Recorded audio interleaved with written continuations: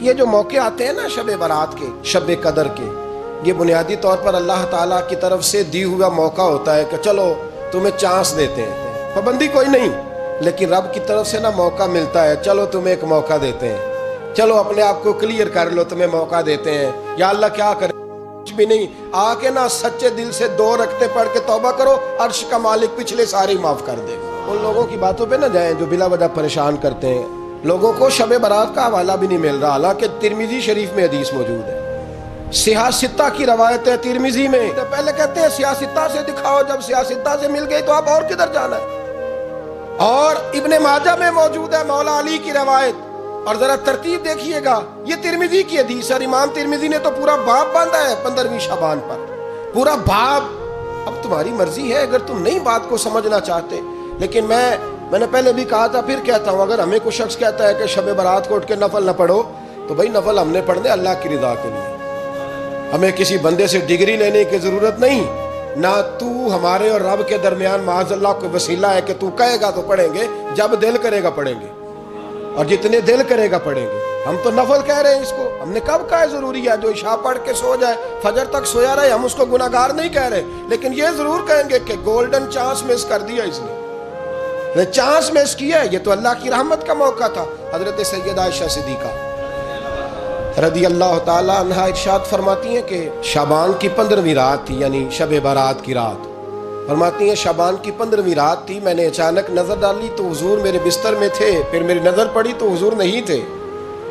मेरे दिल में गुमान आया, ख्याल आया कि शायद किसी और जौजा की तरफ़ हुजूर का मेलाने तबाह हो गया हो वहाँ तशरीफ़ ले गए हो। फरमाती, मैं उठी बाहर गई तो नबी करीम सलाम जन्नतुल में थे। करीब एक जगह पे हुजूर दुआएँ मांग रहे थे। फरमाते, में गया तो हुजूर फरमाने लगे, अबू बकर की बेटी, तूने क्या गुमान किया कि अल्लाह का रसूल तेरी हक तलफी करेगा? अर्ज़ की, हुजूर, आप मालिक हैं, कहीं और जाना चाहे तो मेरी तरफ़ से पाबंदी नहीं। कहती है, वहाँ खड़े खड़े मेरे रसूल करीम ने बयान फरमाया। ये तिरमिजी के लफ्ज हैं। हुजूर ने फरमाया शाह ये शाबान की पंद्रहवीं रात है। मदीने में सबसे ज़्यादा बकरियाँ बनु कल्ब का कबीला पालता था। फरमाया, आज की रात बनु कल्ब के कबीले की बकरियों की तादाद के मुताबिक अल्लाह मेरी उम्मत के लोगों की बख्शी फरमा देगा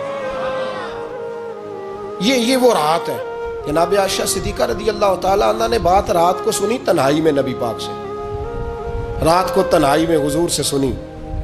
सवेरे जनाब आशा ने कुल उम्मत को बताई। अगर ये बात अहमियत वाली ना होती तो बीबी साहब आगे रवायत करती, ये किताबों में आती, ये लोगों को बताती।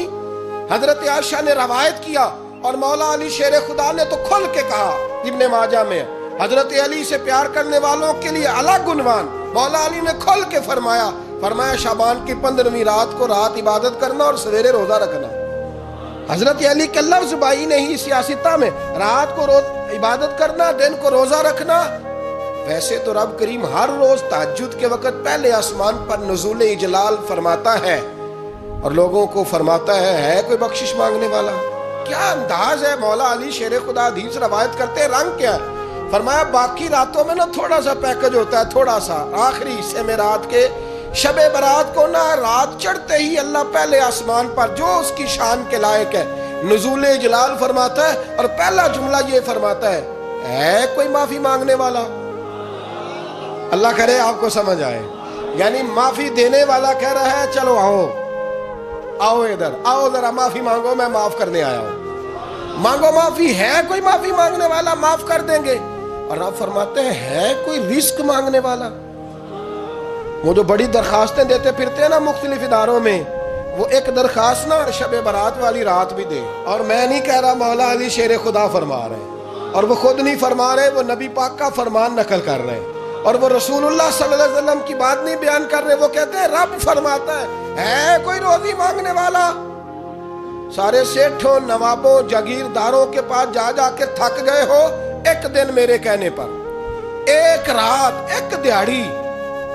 शब बारात वाली लगा के तो देखो तो मेरे रसूल पाक सलाम ने हमें ये मैसेज दिया, पैगाम दिया फरमाए इस रात जो औलाद मांगेगा, रब उसे भी अता फरमाएगा। इस रात जो अल्लाह से बख्शिश मांगेगा, अल्लाह उसे भी देगा।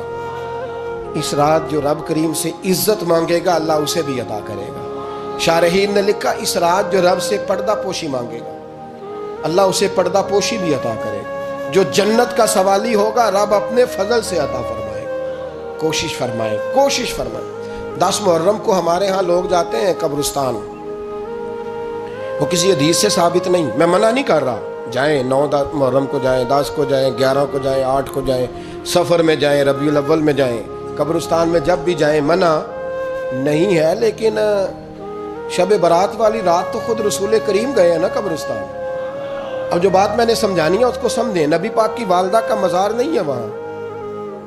जन्नतुल बकी में हजूर के को भाई बहन, हजूर क्या करने गए? उम्मत की बख्शिश के लिए गए। शब बारात की रात लालची ना बने कि सिर्फ़ मैंने अपने लिए रोजी मांगनी है, कुल उम्मत के लिए मांगे रब करीम से। मांगे अपने भाई के लिए, मांगे अपनी बहन के लिए, मांगे अपने बेटे के लिए, मांगे अपनी बेटी के लिए, मांगे अल्लाह करीम। ये मांगने की रात है। पिछली राती रहमत रब दी, करे बुलंद आवाजा। बख्शिश मंगन वारे कारण खुला जे दरवाज़ा। आए अल्लाह की बारगाह में, इस रात को खुल के दुआ मांगे।